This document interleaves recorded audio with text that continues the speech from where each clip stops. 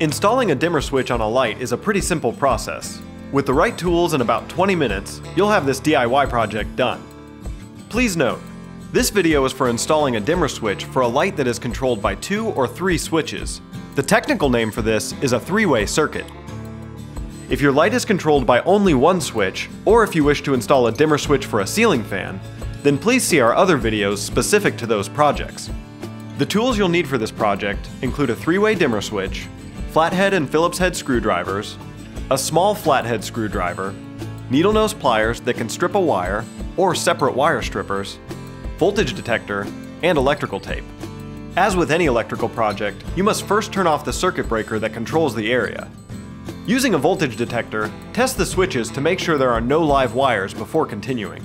Remove the plate and gently pull the switch away from the wall. Note that there are four wires attached to this switch. There is a green or bare copper wire, which is the ground wire, and three other wires attached to screws. Find the wire that is attached to a different color screw. Not the green or ground screw, but it could be a screw that is labeled common. Place a piece of electrical tape on this wire. It will help you in just a few minutes. Now disconnect all of the wires on your existing switch by loosening the screws and detaching the wires. You may need to use your small screwdriver for this step. Connect the green wire from the new dimmer switch to the green or bare copper wire from the wall. Put the wires together and cap them with a wire nut. Make sure you're doing this in a clockwise direction. Next, connect the black dimmer wire from the new switch to the common wire you have labeled with a piece of electrical tape. Again, secure the wires together with a wire nut, securing in a clockwise direction.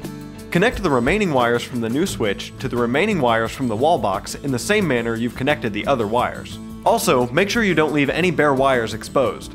If there are bare wires, make sure they are trimmed and capped with wire nuts. Once the wires are connected, push the entire switch back into the wall box. Realize that the new dimmer may be larger than the previous switch. Care must be used when installing the dimmer and wires into the box. Secure the new switch to the wall and attach the wall plate. Finally, turn your circuit breaker back on and test your dimmer switch. If you have any questions about this process, please call the Elite Group Home Inspection Service at 800 494 8998.